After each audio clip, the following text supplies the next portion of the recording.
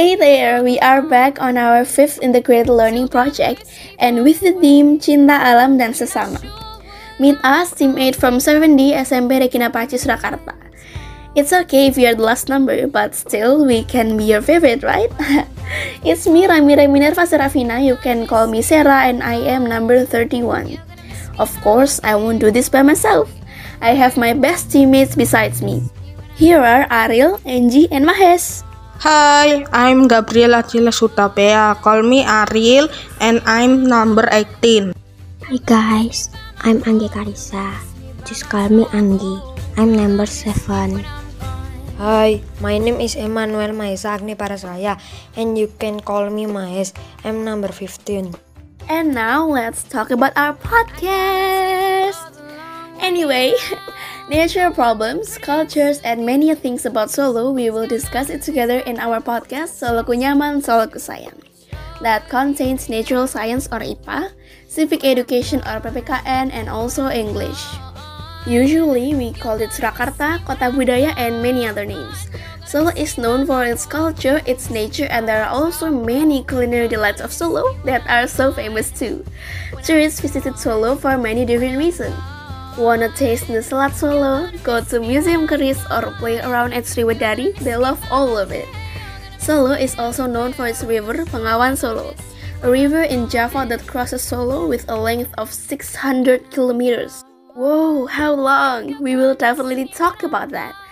Apart from culture, the natural environment in Solo is also doing quite well. People throw garbage in its place, they like to grow some trees and flowers, and it looks so green. But we also have some problems about that. So, wanna know more about Solo? Keep watching our video and make sure you don't miss any part. And also, while you're watching our video, you can click that subscribe button until it turns gray. If it's already gray, press the bell so you don't miss any video. Don't forget to press the thumbs up too, it will be so helping. Thanks and enjoy our video!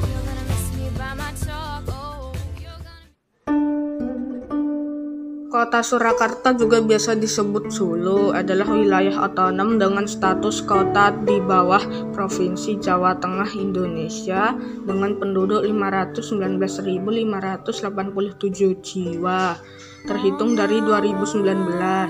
Kota dengan luas 44,04 km persegi ini berbatasan dengan Kabupaten Karanganyar dan Kabupaten Boyolali di sebelah utara.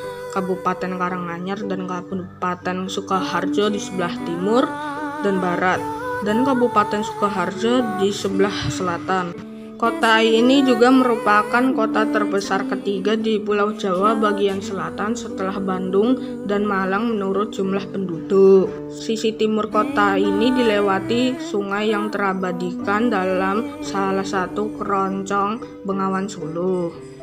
Bersama dengan Yogyakarta, Surakarta merupakan pewaris Kesultanan Mataram yang dipecah melalui Perjanjian Giyanti pada tahun 1755. Yang menjadi karakteristik budaya di kota Solo adalah Istana Kasunan Surakarta, Museum Raditya Pustaka, Karnival Batik Solo, Tari Bedaya Ketawang, Pasar Klewer, Pasar Gede, dan masih banyak lagi yang menjadi kota Solo adalah kota ternyaman nomor satu di Indonesia menurut survei beberapa media, salah satunya Solo Pos.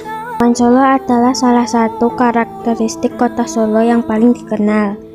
Bukan sekedar judul lagu ciptaan mendiang kesang, tapi sudah menjadi bagian hidup masyarakat di Wonogiri hingga Gresik.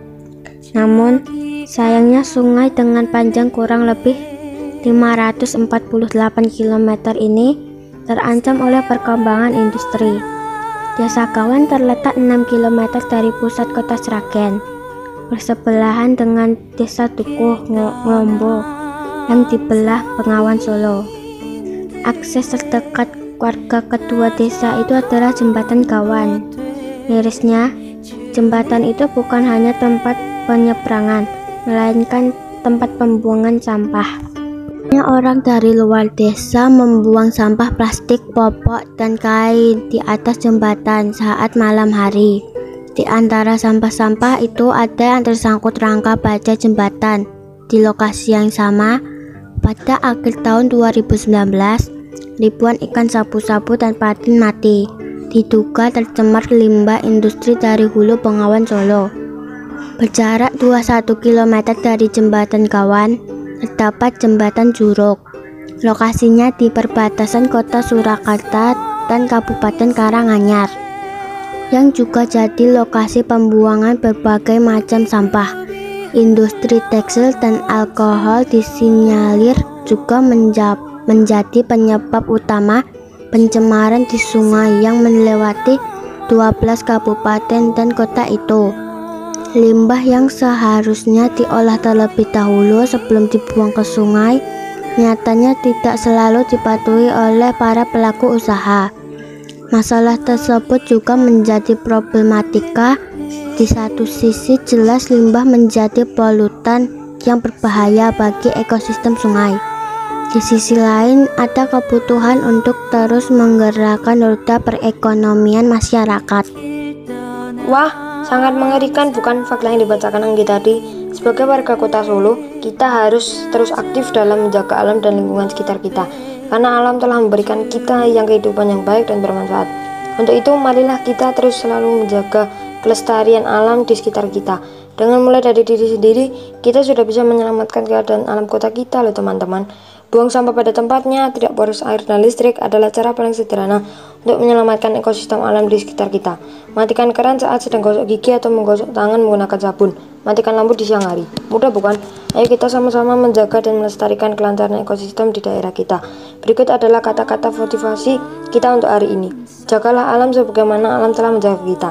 Terima kasih telah menonton untuk video kami. Semoga kalian terhibur dan mendapat pembelajaran yang bermanfaat. Sekali lagi, terima kasih. Jaga kesehatan dan salam serviam. 언제나 변함없이